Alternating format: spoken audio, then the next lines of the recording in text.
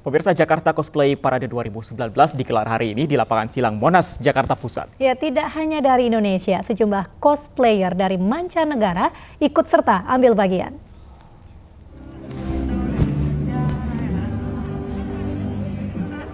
Sejak pagi sejumlah cosplayer sudah berdatangan ke lokasi acara dengan beragam kostum, aksesoris dan juga tata rias seperti yang dikenakan para tokoh dalam anime, manga, dongeng, musisi idola hingga film kartun. Para peserta cosplay parade 2019 ini akan dinilai oleh para juri untuk memperebutkan total hadiah 130 juta rupiah. Kegiatan ini sendiri bertujuan untuk menarik wisatawan datang ke Jakarta.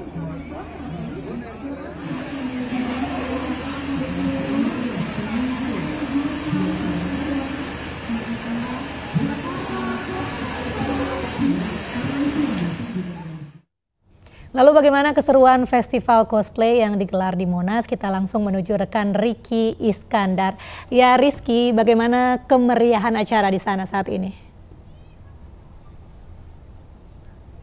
Ya, baik. Mirva dan juga Fandi, memang saat ini untuk rangkaian Jakarta Cosplay Parade 2019 memang telah usai, tetapi euforia ataupun chemistry keseruan dari pesta kostum ini masih sangat terasa sekali karena sejumlah cosplayer masih berada di kawasan Silang Monas tentunya bersama dengan warga Jakarta yang ingin bersuah foto yang untuk menikmati foto bersama ataupun mengabadikan momen ini karena momen cosplay ini sangat jarang sekali. Dan untuk mereview sedikit uh, kemeriahan tadi pada saat cosplay parade kita sudah bergabung dengan teman-teman Aladin yang tadi berhasil memperoleh juara begitu pada saat cosplay parade 2019.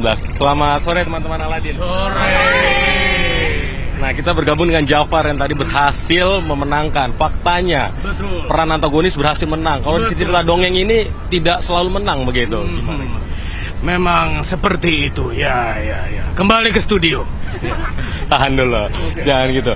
Jadi bagaimana nih berhasil menang? Apakah memang ini semacam komunitas yang aktif begitu? Ya, kami memang komunitas musical, tapi kami juga suka cosplay. Tadi kita sempat memenangkan Best Community dan juga tadi uh, Best Costume untuk hari ini. Dan semoga tahun depan lebih menang lagi dan hadiahnya lebih besar lagi tentunya. Artinya uh, pesan yang ingin disampaikan dari acara cosplay ini apa nih?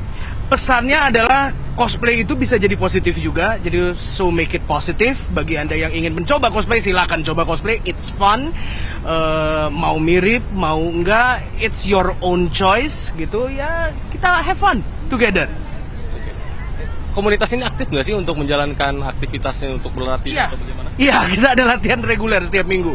Karena kita kan uh, komunitas musical juga, kita ada sanggarnya juga.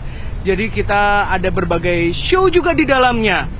Gitu. Seperti mungkin nanti akan ada unicorn-unicorn dan dino-dino di tempat lain. dari mana nih asalnya nih boleh tahu nih? Kami dari Jakarta. Kami dari Jakarta. Cuma nanti di daerah Tangerang itu ada unicorn, di daerah Surabaya akan ada dinosaurus. Oke, terima kasih teman-teman dari Aladin untuk waktunya. Ya, sukses kembali untuk acara-acara cosplay selanjutnya. Terima, kasih, terima kasih, terima kasih. Iya.